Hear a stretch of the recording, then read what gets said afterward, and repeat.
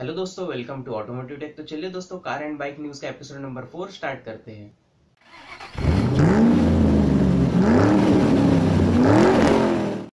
तो यहाँ पे सबसे पहली खबर आ रही है महिंद्रा की तरफ़ से। महिंद्रा की जो स्कॉर्पियो है ऑटोमेटिक वेरिएंट उसे बेचना कंपनी ने बंद कर दिया है। वो डिसकंटिन्यूड हो चुकी है। उसको बेचना इसलिए बंद किया कि उसके कुछ ऑटोमेटिक वेरिएंट्स में कुछ प्रॉब्लम्स रहा था गियर बॉक्स में। इसके लिए उन्होंने डिसकंटिन्यू करना पड़ा उस कार को।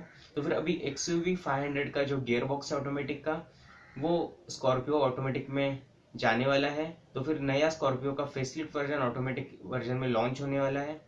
तो फिर देखते हैं वो परफॉर्म कैसे करता है। और यहाँ पे कुछ आपको इंजन भी ट्यून करके मिलेगा। यहाँ पे 138 bhp है तो यहाँ पे 20 bhp आपको ज़्यादा मिलेगा इसमें। न्यू फेसलिफ्ट वाले वर्जन में और यहाँ पे टॉक भी ज़्यादा हो सकता है। तो यहाँ पे दूसरी खबर आ रही है निशान की तरफ़ से। निशान इंडिया ने अपनी जो माइक्रा है 2017 वर्जन उसको लॉन्च कर दिया है। इसमें कुछ भी नई बात नहीं है, वही पुरानी माइक्रा है।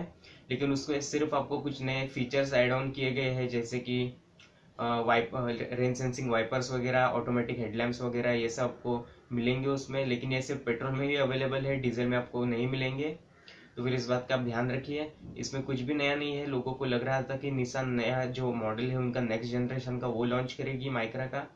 लेकिन उन्होंने वही पुराना घिसा पिटा मॉडल फिर से लॉन्च कर दिया इंडिया में। तो फिर देखते कितनी बिक पाती है निशान माइक्रा 2017 का नया मॉडल तो यहाँ पे तीसरी खबर है बाइक की सेगमेंट में। यहाँ पे जो हीरो मोटो कॉप कंपनी है, उन्होंने सात अपने बाइक्स को डिसकंटिन्यूड कर दिया है। यानी वो बंद होने वाली है सात बाइक्स उनकी। तो फिर ये एक्चुअली हो रहा है। एमिशन नॉर्म्स जो नए आए थे बी एस फोर आया था नया, इसकी वजह से भी। और उनके कुछ सेलिंग बहुत ही डाउन है, उनके बाइक बिल्कुल भी बिक नहीं पा रही है। इसकी वजह से उन्होंने जो अपनी सात बाइक से उसे बंद करने का फैसला लिया है। तो यहाँ पे फोर्थ खबर आ रही है यामा इंडिया की तरफ़ से। यामा अपनी R one five version three जो कि उन्होंने पहले से लॉन्च कर दिया है इंडिया के बाहर। वो इंडिया में इस साल के अंत तक लॉन्च हो सकती है, शायद से ऐसा अनुमान लगाया जा रहा है क्योंकि जो उनकी वर्जन टू है, वो बहुत ही पुरानी हो चुकी है। उनको फिर से कलर दे दे के, नया कलर लॉन्च कर करके वो लोग चला रहे हैं, लेकिन वो भी अब पुरानी पड़ती जा रही है। तो फिर इसलिए वर्जन थ्री को लॉन्च करना चाहती है शायद से यामा तो फिर देखते हैं कि कब तक वर्जन थ्री इंडिया में लॉन्च हो सकती है। इस साल के अंत तक या फिर 2018 में लॉन्च होगी, मालूम नहीं कब होगी, लेकिन इस साल के अंत तक ऐसा अनुमान लगाया जा रहा है कि लॉन्च होगी। यहाँ पे पांचवी खबर है यामा की तरफ़ से। यामा ने अपनी जो F Z two fifty launch की है, उससे ही चलकर फेजर 250 भी लॉन्च करने वाली है यामा उसकी टेस्टिंग चालू हो गई है।